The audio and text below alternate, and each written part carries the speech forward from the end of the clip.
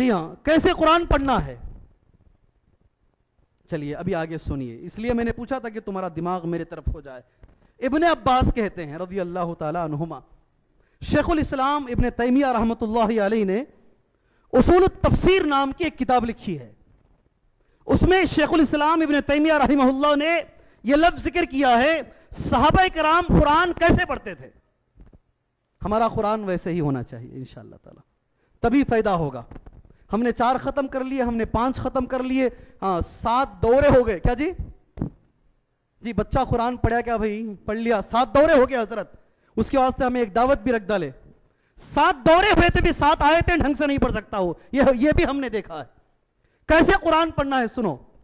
अब्दुल्ला इबन उमर रज़ी अल्लाह तुमा अब्दुल्ला इब्न अब्बास रज़ी अल्लाह तुमा कहते हैं, हम सिर्फ़ दस आयतें ही पढ़ते थे। जब तक वो दस आयतें अच्छे से समझ नहीं लेते, हम आगे नहीं बढ़ते थे।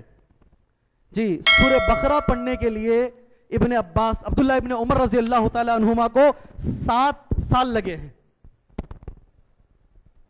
कितना? सूर्य बकरा पढ़ने के लिए इबन उमर रज़ी अल्लाह तुमा को सात साल लगे हैं। कुरान तदब्बर वाली किताब है, समझ के पढ़ने वाली किताब है। यह तोते की तरह रट्टा मारने वाली किताब नहीं है भाई। वैसा पढ़ेंगे तो ज़िंदगी खैर बरकत। वैसा पढ़ेंगे तो तब्दीली आएगी। ऐसे ही sir sir sir sir sir sir sir, या लमुन तालमुन वाली अगर हम चलाएँगे तो कुछ होने वाला नहीं।